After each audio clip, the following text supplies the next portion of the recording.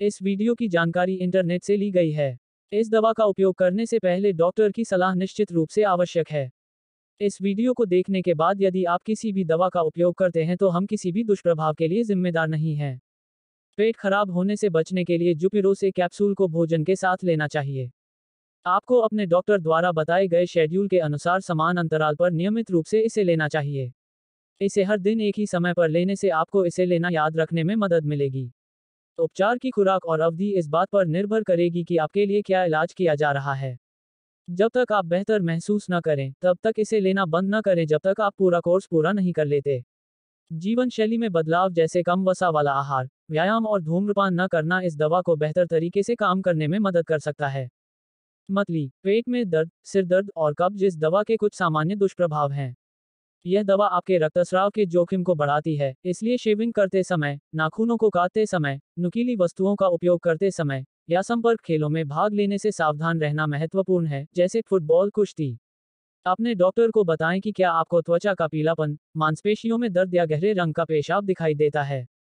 इस दवा को लेने से पहले अपने डॉक्टर को बताएँ कि क्या आपको लिवर या किडनी की बीमारी है या आप ब्लीडिंग डिसऑर्डर से पीड़ित हैं।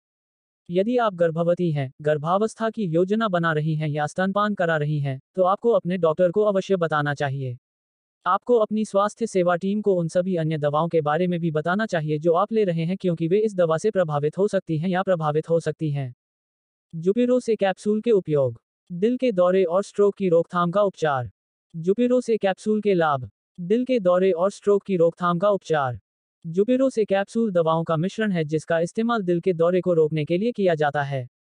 इसमें रोसुवास्टेटिन होता है जो रक्त में खराब कोलेस्ट्रॉल एलडीएल की मात्रा को कम करके और अच्छे कोलेस्ट्रॉल एचडीएल की मात्रा को बढ़ाकर काम करता है। कोलेस्ट्रॉल का उच्च स्तर रक्त वाहिकाओं एथेरोस्क्लेरोसिस को कम कर सकता है। कोलेस्ट्रॉल की मात्रा कम करने से हृदय रोग और स्ट्रोक की संभावना कम हो जाती है और लंबे समय तक स्वस्थ रहने में मदद मिलती है। जुबेरो से कैप्सूल में रक्त को पतला करने वाली एस्पिरिन भी होती है, जो रक्त के थक्कों को बनने से रोकती है और मौजूदा लोगों को आकार में बड़ा होने से रोकती है। इस दवा की प्रभावशीलता को अधिकतम करने के लिए इसे नियमित रूप से लें और उचित जीवन शैली में बदलाव करें, जैसे स्वस्थ खाना और सक्रिय रहना। अगर आपको ठीक लगे तो भी इसे लेते रहें। जुपिरो से कैप्सूल के साइड इफ़ेक्ट। अधिकांश दुष्प्रभावों को किसी भी चिकित्सा ध्यान देने की आवश्यकता नहीं होती है और गायब हो जाते हैं क्योंकि आपका शरीर दवा में समायोजित हो जाता है। अपने चिकित्सक से परामर्श करें यदि वे बने रहते हैं या यदि आप उनके बारे में चिंतित हैं। जुपिरोस एक सामान्य दुष्प्रभाव।